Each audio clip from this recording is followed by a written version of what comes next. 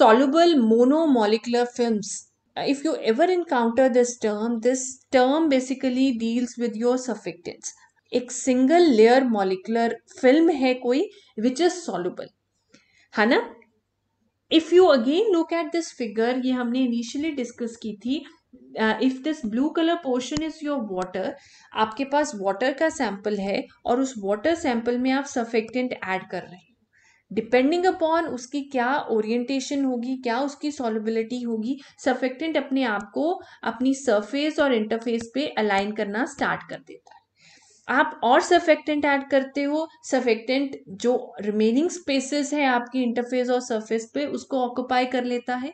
एक लिमिट आएगी जहाँ आपकी सारी सरफेस जो है, वो कवर हो जाएगी विद योर सफेक्टेंट ठीक है? जो भी अवेलेबल स्पेस थी सरफेस और इंटरफेस पे, वो आपकी सफेक्टेंट ने ले ली है। At that point the film formed by the surfactant on the interface और a surface is your soluble monomolecular film ठीक है? ये वो पॉइंट जहाँ पे आपकी थ्रू आउट सरफेस और इंटरफेस ऑक्युपाई कर ली है सर्फेक्टेंट ने and that surfactant is present in a single monomolecular layer वो एक सिंगल मोनोमोलिकुलर लेयर में पड़ा है वहाँ पे।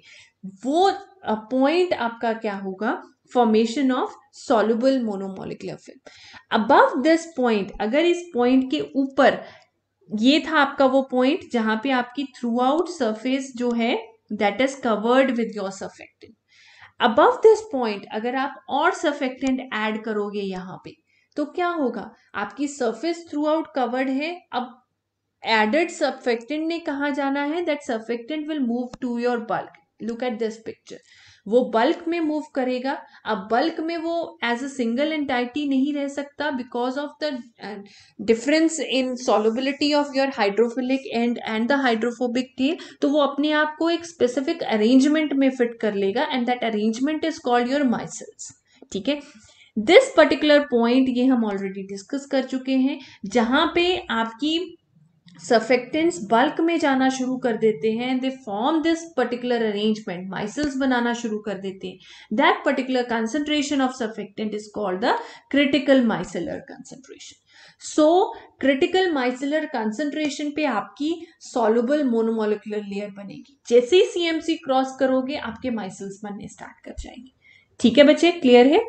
Applications of soluble monomolecular film की अगर बात करें it is used in stabilization of emulsion stabilization of emulsion मैंने बात की for example you are considering oil in water आपके वाटर में ऑयल ड्रॉपलेट्स पड़ी हैं. यू वॉन्ट के throughout your oil droplet अगर आप किसी चीज़ से उसको कोट कर दोगे तो दो ऑयल ड्रॉपलेट्स आपकी आपस में ज्वाइन नहीं करेंगी और आपका ऑयल सेपरेट नहीं होगा. सो ये कब होगा? When you add some surfactant into your system and that surfactant will partition themselves on this surface है ना? जब वो सफेक्टेंट सॉल्युबल मोनोमोलिकुलर फ़िल्म बना लेगा throughout that oil droplet तो आपकी जो इमल्शन है वो उतनी स्टेबलाइज हो जाएगी। Second wetting and detergency we will cover this topic in detail further in in our uh, next classes. हमारे सिलेबस में है वेटिंग क्या होती है डिटर्जेंसी होती क्या होती है। वहाँ पे भी आपकी अगर सॉल्युबल मोनोमोलिकुलर फ़िल्म बन जाएगी सफेक्टेंट्स की then your efficacy increases markedly membrane models हमें पता है हमारी फॉस्फोलिपिड मेम्ब्रेन होती है ठीक है? वी ऑल नो और जब भी हम uh, हमारी मेम्ब्रेन स्ट्रक्चर बनाते हैं हम इस तरह की स्ट्रक्चर बनाते हैं है ना?